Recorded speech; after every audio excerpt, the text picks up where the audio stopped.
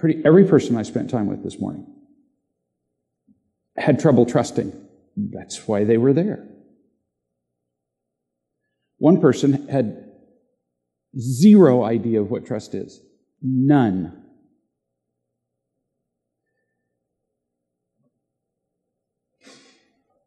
Untrusting, doubting, skeptical, defensive people who are doing this with a gun tend to keep people away. Who knew?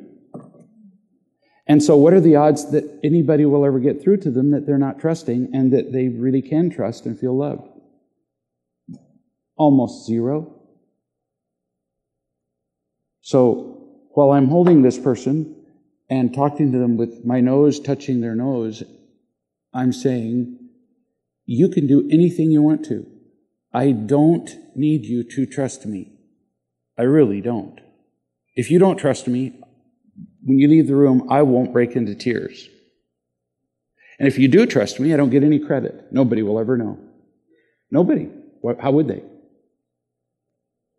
But what are the odds of anybody ever again in your life, ever, intruding? You may notice I have just no respect at all for personal space.